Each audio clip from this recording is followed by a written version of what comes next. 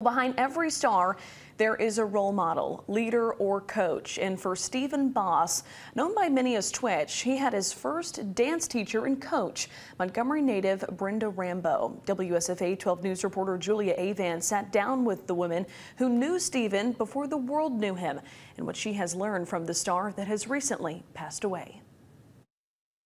Everything changed at Lee High School when Stephen Boss, known as Twitch, tried out for the school's dance team.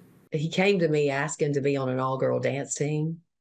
And that was difficult enough because we had to get permission from the principal, and he agreed. Brenda was Twitch's first dance teacher who taught him the skills of the craft and how to be a teammate. I was really tough on Stephen, and I said, no matter what, you have to be a gentleman 24 7 these girls come first and and you just have to take care of them. They're like your sisters now. And he didn't just take care of the dancers. Everybody fell in love with him and he meshed. I've, I've been at lee high school for 23 years and i've never seen anybody mesh a school together as a cohesive group like he did. Brenda says after dance practice twitch would even work out with the football team. He was loved by everyone even Brenda's family. It's just a family thing when he came. We didn't see him as Twitch, we saw him as Stephen. He was just family to us. He calls my uh, my little granddaughters his nieces.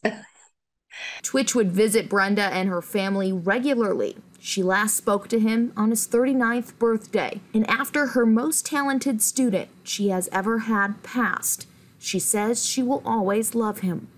That I loved him beyond belief. he was my son in all respects. Julia Avant, WSFA 12 News.